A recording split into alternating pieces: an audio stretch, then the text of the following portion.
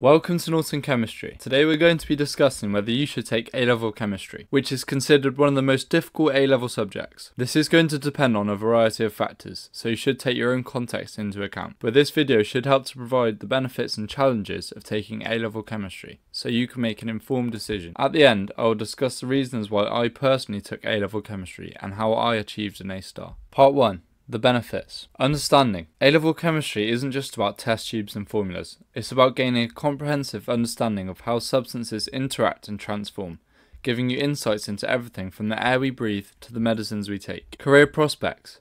By taking A-level chemistry, you're open to many career opportunities. You could pursue fields like pharmacology, medicine, or even forensic science, where understanding chemistry is crucial. Analytical skills. Chemistry requires you to analyze problems critically and to develop effective solutions. This skill set is transferable to various areas of your life, making you a more capable problem solver. Real-world applications. This subject isn't just theory. It's about hands on experiments and the development of practical skills in your practical endorsement, as well as teacher led demonstrations. Part 2 Challenges. A level chemistry delves into complex concepts like equilibrium and enthalpy changes. Be prepared to invest time in learning these concepts, as well as being able to apply them to difficult exam questions. Calculations in chemistry. Maths plays a key role in understanding chemical equations and calculations. If your maths isn't strong, you might need to devote extra effort to calculations. The workload. Between lessons, practical work, homework, and revision, the workload can be intense. Time management will be your ally as you juggle these responsibilities. Abstract concepts. Certain concepts can be abstract and challenging to visualize. It may take multiple attempts to grasp them fully.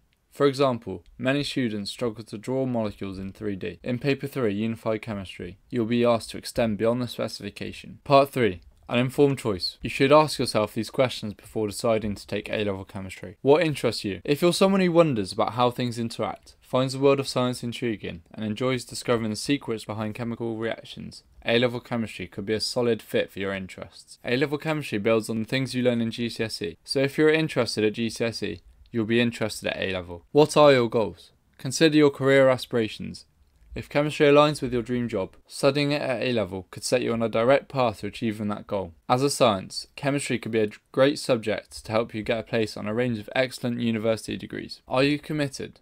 Success in A level chemistry requires commitment. If you're prepared to put in the effort and push through challenges, you're likely to achieve success. Adaptability is also a key feature of successful students. Make sure you're able to respond to and overcome the challenges you face by adapting. For example, if you're struggling with a difficult topic, make sure to watch Norton Chemistry to help improve your understanding. You can also seek support from your teachers, students, or revision resources. If you want to select the best revision resources, check out my video, my favourite revision resources for A-level chemistry. To conclude, I took A-level chemistry because I enjoyed it and was good at it at GCSE. I was never the best at maths in my class, but I had developed the necessary skills to be able to, when I put the effort in, achieve success in my exams. Keep in mind that your school, like mine, may have a cooling off period where you can decide whether A level chemistry is really for you, while you do the first few taste lessons and possibly a baseline test. Chemistry is a really enjoyable subject when you know how to approach it in an open minded and adaptable way. You will face many challenges along the way, but if you continue to watch Norton Chemistry along your journey, I promise you will achieve success. Make sure to check out my website where you can purchase my notes and flashcards. The link will be in the description below. My video on my favourite A-level chemistry resources should be in the top right hand corner now. Thanks for watching.